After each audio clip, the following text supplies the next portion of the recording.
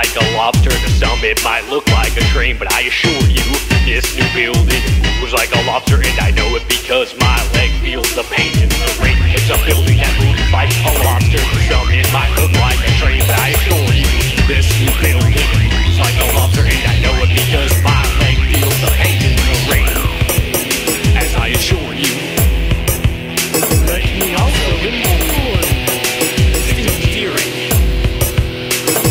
the.